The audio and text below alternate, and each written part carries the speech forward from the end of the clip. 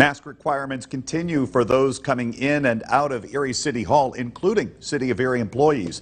As the number of local COVID cases continues to go down, officials are now making decisions about masking guidelines. Erie Mayor Joe Schember says there is still a mask requirement at Erie City Hall.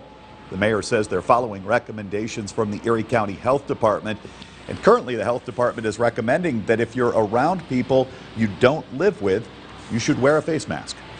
I noticed the cases are really going down. I hope we don't get a new variant that starts up and, and, jacks it back up again. But I'm hoping we can get to the point where you know that we won't have to. But we're going to wear masks as long as the county department of health tells us we should.